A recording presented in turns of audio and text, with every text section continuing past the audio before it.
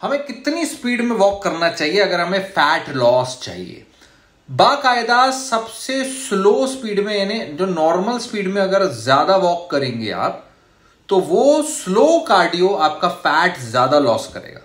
यह देखा गया है कि जब आप बहुत ज़्यादा वॉकिंग करते हैं एक्चुअल नॉर्मल वॉक आप ज़्यादा करते हैं तो उस नॉर्मल वॉकिंग में आपकी बॉडी जो है धीरे धीरे धीरे धीरे फैट यूज़ करती है बिकॉज़ जो आपके शरीर में ग्लूकोज ग्लाइकोजन है, वो वो जल्दी से ऑक्सीजन के लिए यूज़ होता है, अगर आप बहुत तेज भाग रहे हैं। तो अगर एक इंसान स्लो चालू हुआ तो उसका 80 90 परसेंट उस पर्टिकुलर वॉकिंग की एनर्जी के लिए फैट यूज़ हो रहा है 10 परसेंट आपका कार्बोहाइड्रेट यूज़ हो रहा है। स्पीड स्पीड बढ़ता गया बढ़ता गया बढ़ता गया, तेज हो गया।